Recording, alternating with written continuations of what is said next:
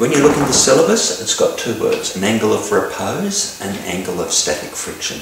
The angle of repose is basically if I get sand and tip it in a pile, or rocks and tip them in a pile, or flour, or rice, or marbles, or anything, it will form a natural angle of the pile. That angle the pile is sloping back at is called the angle of repose.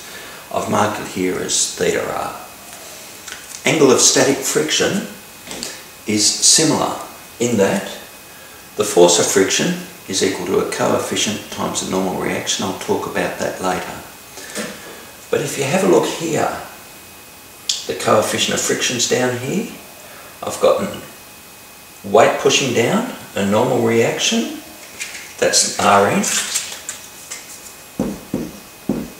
Pushing up, got the force of friction pushing to the left, and the angle of static friction is the angle that's laid back at.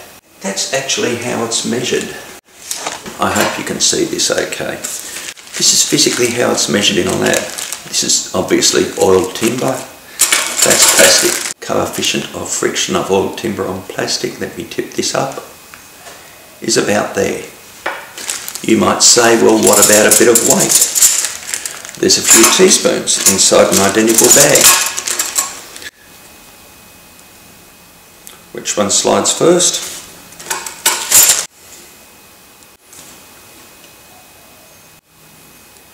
See, they're both moving.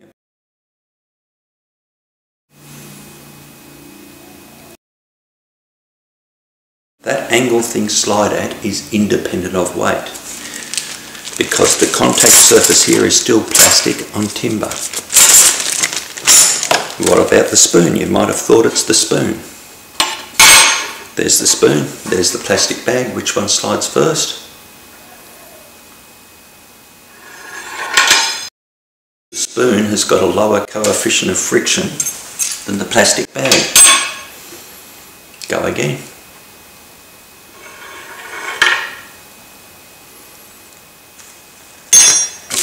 Here is a pencil eraser. Same thing, angle of friction. Needs a far higher angle of friction for the pencil eraser to slide. That is physically how they measure coefficient of friction in a lab. It is an incredibly scientific test. They put two things on each other and just carefully lift them up so they're not bumping them and vibrating them. Then, when it starts to slide, they measure the angle. They repeat that 10 times, take the average, and there's your coefficient of friction.